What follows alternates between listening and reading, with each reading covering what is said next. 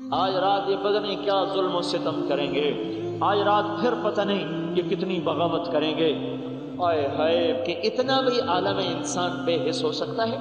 ये भी कैसी दीवानी दुनिया है, ज़िंदगी में से एक साल कम हो गया है और उसकी खुशी मनाई जा रही है। खुशी मनाओ, कुरान पढ़ के, तिलावत करके कि अल्लाह, ये साल आफियत से गुजर गया।